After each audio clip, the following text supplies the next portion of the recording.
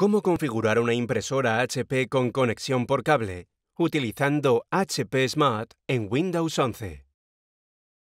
Para configurar e instalar correctamente su impresora, necesitará lo siguiente.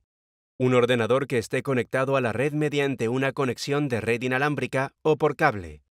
La aplicación HP Smart instalada en su ordenador. Una impresora HP que admita conexión por cable y que tenga tinta y papel una conexión a Internet activa y un cable Ethernet. Conecte la impresora a la red de su casa o de su oficina mediante un cable Ethernet. En el equipo, abra la aplicación HP Smart. HP Smart está preinstalado en todos los ordenadores HP o puede descargarse de 123.hp.com. En la ventana de bienvenida de HP Smart, haga clic en Aceptar todo.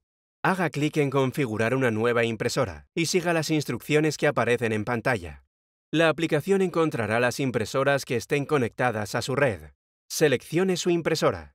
Si la impresora no aparece en esta pantalla, seleccione Mi impresora no aparece en la lista y a continuación, seleccione su impresora en la siguiente pantalla.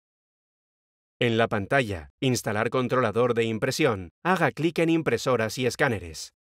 Después de seguir las indicaciones, en HP Smart aparecerán las tareas y la configuración de su impresora.